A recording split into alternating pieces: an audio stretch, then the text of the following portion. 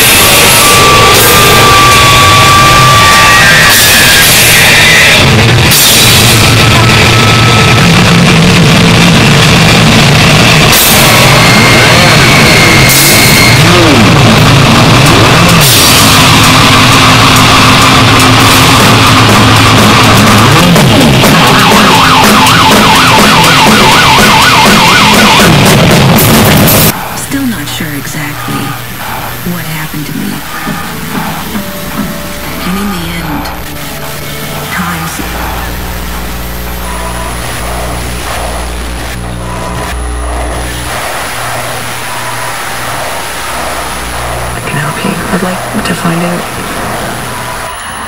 I I didn't doubt you for a minute, you know.